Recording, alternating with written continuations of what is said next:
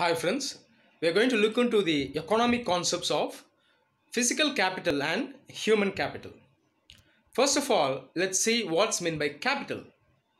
Capital is nothing but the assets or wealth accumulated by an entity.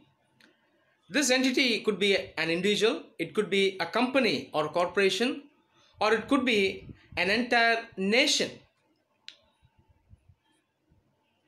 Typically, capital includes tangible assets such as money, gold, foreign exchange reserves, infrastructural assets such as road, rails, energy, uh, utilities, buildings. All these are included under capital. Apart from this, intangible assets like the skills, knowledge of a population, these are also included within capital. Capital is seen within a company. For example, within a company, we see assets such as inventories, uh, machineries, uh, labor, etc.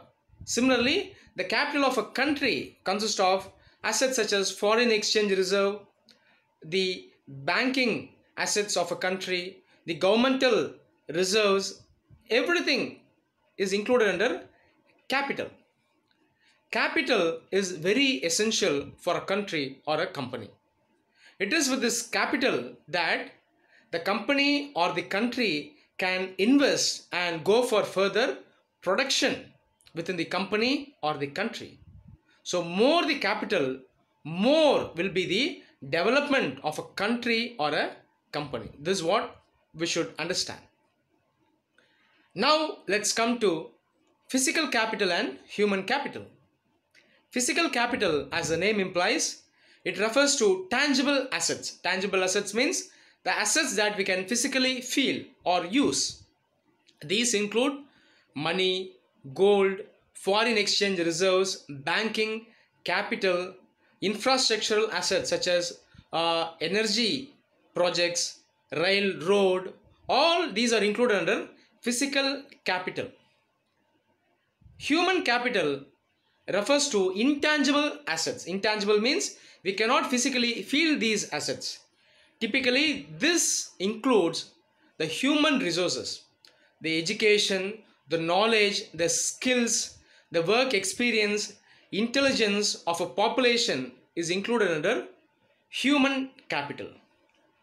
Both physical capital and human capital are equally important for holistic economic development for both a company as well as a entire country. If a country has physical capital but if it doesn't have human capital it cannot progress properly. It can achieve economic growth but it cannot achieve proper overall economic development. For example you can take gulf countries for example. These countries are rich in physical capital but they are very poor in human capital. That is why even though these countries have high per capita income, we cannot classify these countries as developed countries.